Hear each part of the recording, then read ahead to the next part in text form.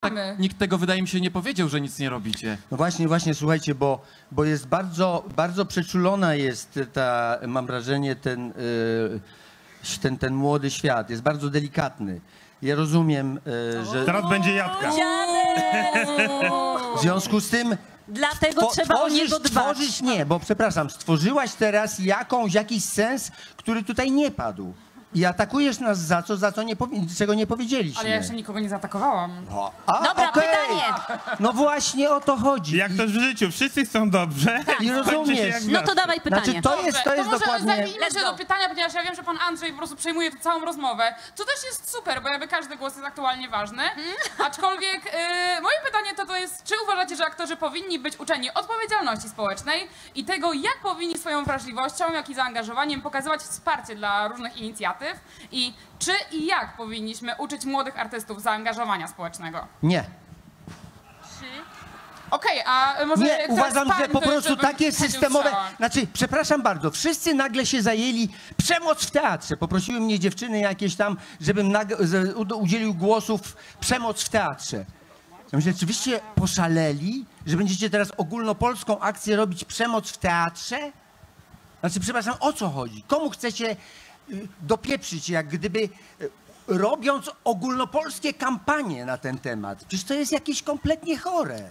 Dobrze. Chcecie znaczy uczyć, jak to artystów Poczekaj. chcecie uczyć, przepraszam, jak mają się zachowywać? Ale zaraz, Jak Andrzej, uczestniczyć, Andrzej, bo co, przepraszam?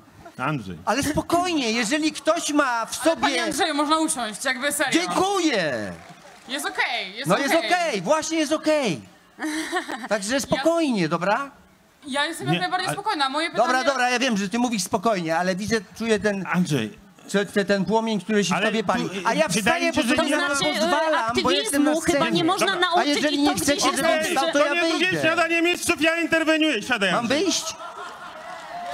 Siadaj, siadaj, Nie, no właśnie siadaj. aktywizmu nie Dobrze. można, e, to znaczy Magda. można uczyć, e, mówiąc o tym i pokazując jaką, jakąś postawę, ale właśnie chodzi o to, że albo się ma ten zapał, który Andrzej przedstawił i albo się o coś walczy, albo, albo, albo nie, no my, my po prostu jesteśmy po to, żeby jednak namawiać was, żeby pokazywać, że warto, są tego konsekwencje, ale e, no warto być nieobojętnym po prostu.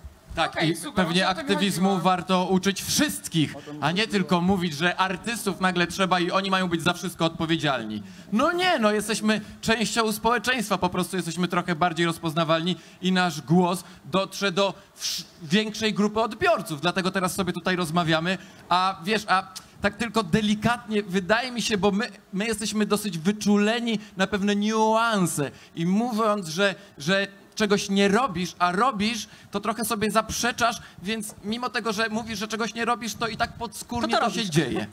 Okej, dzięki. Ale Więc też tyle. myślę, że nie można artystów zmuszać do aktywizmu, bo jak gdyby ta, mm, to, ta postawa wszelka polityczna, czy no jakkolwiek,